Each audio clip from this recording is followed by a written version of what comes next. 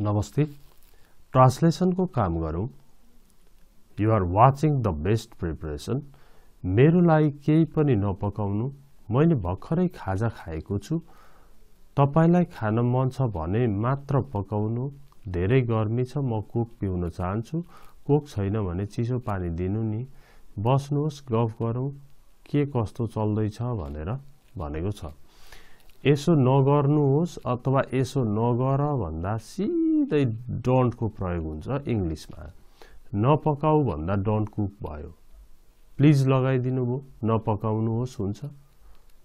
Okay don't cook anything for me केही नपकाउनु। यहाँनिर केही भनेको छ तर एनिथिङ छ भन्ने लाग्यो भने चाहिँ नेगेटिभमा र क्वेसनमा चाहिँ समथिङलाई पनि एनिथिङ बनाउने चलन छ। Don't cook anything for me I have just एको छु भन्ने बित्तिकै आई हेभमा भित्री हो। त्यसो हुँदा आई हेभ भयो यहाँ भफ थर्ड भयो। यो ह्याड भनेको इटन हो यो अर्थमा चाहिँ। A eaten I have just eaten, I have just had a lunch. Okay अब भए मात्र only if cook only if you want to eat यहाँ हेर्नुहोस् है। तपाईँलाई खान मन छ भने मात्र पकाउनु। Cook only if you want to eat call only if you want to go जाने भए जान मन छ भने मात्रै फोन गर्नु। त्यस्तै it's very hot I want to drink coffee sorry coke sorry है if there is no coke coke छैन भने give cold water let's sit and chat how is it going कस्तो चलिरहेछ नि? सेकेन्ड सेकेन्डमा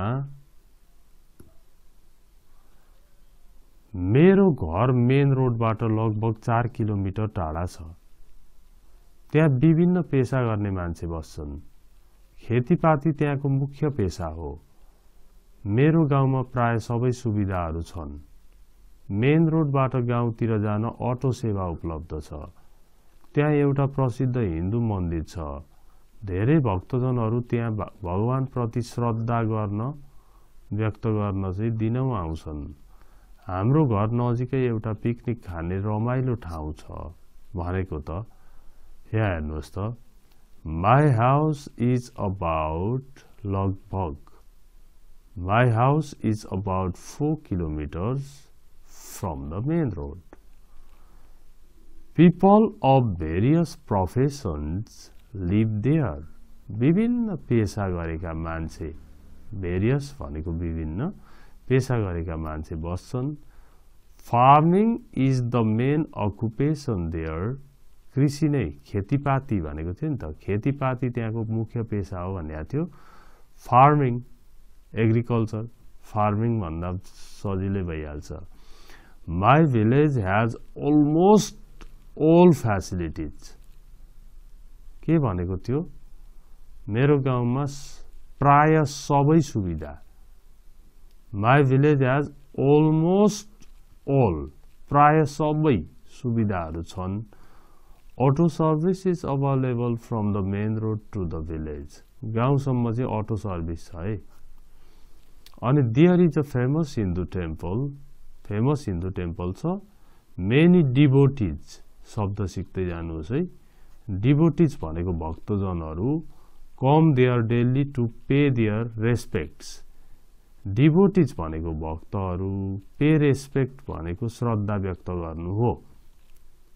भनेपछि many devotees come there daily to pay their respect to the lord there is a nice picnic spot near our house अब picnic spot भनेको picnic खाने ठाउँ भयो। अर्कोमा पुग्यौँ। अब अर्कोमा जाँदाखेरि चाहिँ हामी यसमा म अङ्ग्रेजी सिक्ने विचार गर्दैछु। विचार गर्दै भनेको थिङ्किङ अफ लर्निङ भयो। सिक्ने विचार गर्दै थिङ्किङ अफ लर्निङ हुन्छ भने किन्ने विचार गर्दै भन्दा थिङ्किङ अफ बाइङ हुन्छ। हो कि होइन? म अङ्ग्रेजी सिक्ने विचार गर्दैछु। I am thinking of learning English तिमीले कसरी तिम्रो अङ्ग्रेजी सुधार गर्यो त? यौ भएकोले डिड आउँछ। How did you how did you improve कहाँ भेट्यौ भन्दा? वेयर डिड यु फाइन्ड कसरी इम्प्रुभ गर्यौ भन्दा? How did you improve how did you improve your English can you give me an idea मलाई कुनै आइडिया दिन सक्नुहुन्छ? I am free only in the morning यहाँ के भनेको छ यहाँ हेर्नु म बिहानको समयमा मात्र फुर्सद छु। I am free only in the morning how about taking an online class how अबाउटले चाहिँ कसो होला भन्ने खालको हुन्छ। How about taking an online class online class लिँदा कसो होला त? टेल मी एभ्रिथिङ मलाई सबै कुरा बताउनुहोस्। यसरी यो पनि सक्सेसफुल्ली गऱ्यौँ। लाइक गरिदिँदै होला। अब सरी यहाँनिर के भन्छ भने मलाई तिम्रो धेरै याद आउँछ। तिमीले त मलाई पक्कै भुलिसक्यौ होला। अब धेरै याद आउँछ। मिस यु अलट होला। होइन त? भुलिसक्यौ होला पक्कै भुलिसक्यौ होला भन्नुपर्छ। पक्कै भन्ने शब्द नि यसले ल्यायो क्या। पक्कै भुलेको होला मस्ट ह्याभ फर्गोटन फर्गटबाटै फर्गटन हुन्छ। अनि तिम्रो तिमी कसरी दिनहरू बिताउँदैछौ? होइन? स्पेन्डिङ भइहाल्यो हाउ भइहाल्यो। तिम्रो कमाइ कस्तो छ? हाउ नै भयो। अर्निङ भयो होइन? महिनाको कति बचत गर्छौ भनेको सेभ भयो। नेपाल आउँदा मलाई पनि फोन गर्नु ल कोलमी भइहाल्यो। ओके? अनि यहाँनिर तिमीसँग धेरै कुरा गर्नु छ। भन्दाखेरि चाहिँ I will talk to you a lot अनि म पनि सानो काम गर्दैछु। I am also doing small work यहाँ हेर्नु। I miss you a lot धेरै याद आउँछ। You must have forgotten me तिमीले मलाई बिर्सेको हुनुपर्छ। How are you spending your days दिनहरू कसरी बिताउँदैछौ? हाउ इज युर इन्कम कमाइ कस्तो छ? अर्निङ होइन? इन्कम भनेको आय। How much money do you save per month प्रति महिना कति सेभ गर्छौ? कोल मी मलाई फोन गर। When you come to Nepal Nepal आउँदा फोन गर। I talk to you lot धेरै कुरा गर्नु गर्छु। I am also doing a small job म पनि सानो जब गर्दैछु। अब फेरि यहाँनिर के आयो त भन्दाखेरि मैले आफ्नै देशमा जागिर पाएँ भने राम्रो हुन्छ होइन भने विदेशतिर जान्छु। यो अर्को आयो फेरि। पाएँ भने यहाँ हेर्नु त इफ आई गेट पाएँ भने यदि पाएँ भने यदि नभने पनि इङ्ग्लिसमा चाहिँ यहाँ गर्नुपर्छ। यो पनि शर्त वाक्य हो नि त शर्तात्मक वाक्य। इट वुड बी बेटर राम्रो हुन्थ्यो भन्ने कुरा यो भयो। Okay it would be better if I get a job in my own country आफ्नै देशमा जब पायो भने राम्रो हुन्छ। इफ नट पाएन भने चाहिँ के त? आइल गो अब्रोड म विदेश जान्छु। अब कोही पनि विदेश जान त चाहँदैन तर रोजगारीको लागि जानै पर्दो रहेछ भनेको छ। कोही चाहँदैन no one wants no one wants कोहीले चाहँदैन no one wants to go abroad but has to go for employment जबको लागि जानै पर्छ के गर्ने? ह्याज टु गो अब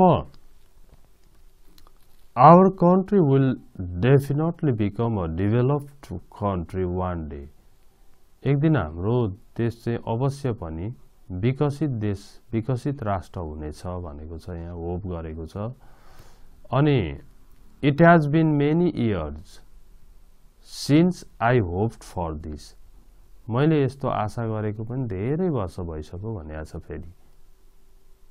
यो आश गरेको पनि धेरै वर्ष भइसक्यो हेर्नु त।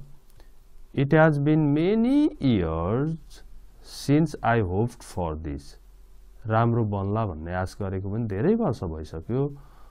होप इज नट डेडेड आशा अझै मरेको छैन। Hope is not dead at आशा अझै मरेको छैन। यसमा अब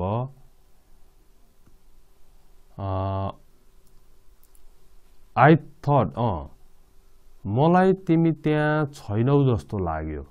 त्यसकारण म तिम्रोमा आइन। I thought you weren't there मलाई तिमी त्यहाँ छैनौ जस्तो लाग्यो। I thought you weren't there so त्यसकारण I didn't come to you म तिम्रोमा आइन। डोन्ट वरी चिन्ता नगर। I'll be there if I have time समय भयो भने म त्यहाँ आउँछु। Don't forget to call sometimes कहिलेकाहीँ फोन गर्न चाहिँ नबिर्साइ don't forget to call sometimes sometimes भन्नु पनि टाइम भनेर हुँदैन टाइम्स भन्नुपर्छ। Even Ram keeps asking about you यहाँ हेर्नु त रामले पनि तिम्रो बारेमा सोधिरहन्छ even Ram Ram keeps asking about you सोधिरहन्छ there are few friends in the world who are as close as we are there are few friends in the world who are as close as as close as we are हामी जति close छौँ त्यस्तै close हुने चाहिँ मान्छे साथीहरू चाहिँ संसारमा फ्यु भन्ने बित्तिकै के बुझिन्छ? अत्यन्तै थोरै। अफ्युभन्दा पनि थोरै। थोरै मान्छेहरू साथीहरू मात्र छन् कि संसारमा जो चाहिँ हामी जत्तिकै क्लोज हुन्छन्। Once a year we should get together वर्षमा एकचोटि भेला हुनुपर्छ एन्ड ह्याभ फन रमाइलो गर्नुपर्छ। Please join my Facebook page मेरो फेसबुक पेज जोइन गर्नुहोस् भनेर भनेछ नेक्स्ट अब यसमा पनि अहिलेको समयमा अङ्ग्रेजी सिकेन भने जागिर पाउनै गाह्रो पर्छ। Nowadays it is difficult to get a job जागिर पाउन गाह्रो छ कि if you don't learn English अङ्ग्रेजी सिकेन भने जागिर पाउन गाह्रो छ अहिलेको समयमा भनेको छ। यो नाउ डेजलाई दिज डेज भन्ने चलन पनि छ। दिज डेज भनेकै नाउ डेज हो। English should be learn anyway जसरी पनि सिक्नै पर्यो। जसरी भए पनि अङ्ग्रेजी सिक्नै पर्ने। पर्छ होइन? English should be learn anyway my friends are also planning to learn English मेरा साथीहरूले पनि अङ्ग्रेजी सिक्ने प्लान गर्दैछन्। Maybe we will start learning English from next month सायद अर्को महिनादेखि अङ्ग्रेजी सिक्न सुरु गर्छौँ। Talk if you want to learn to भन।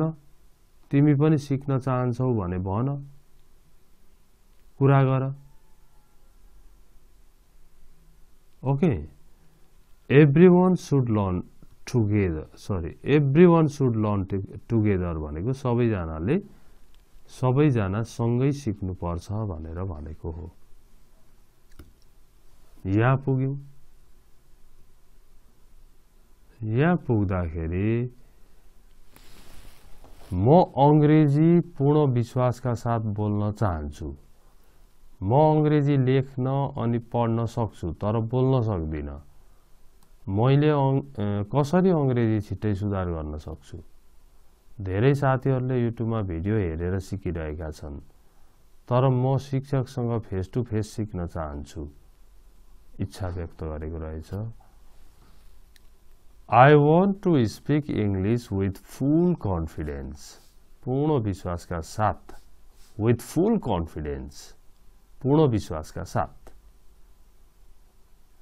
ओके तपाईँले कुनै कुरा भन्नुभयो डाउट गरे जस्तो लाग्यो गरे भने I am telling you about it with full confidence पूर्ण विश्वासका साथ त्यस्तै। I can read and write पढ्न लेख्न सक्छु but can't speak can't speak it how can I improve my English quickly fast fast Many friends have learned by watching videos on YouTube. Many friends have learned भनेको सिकेका छन् by watching videos भिडियोहरू हेरेर on YouTube युट्युबमा। On नै भनिन्छ यो social मिडियाहरू सबै मिडियामा।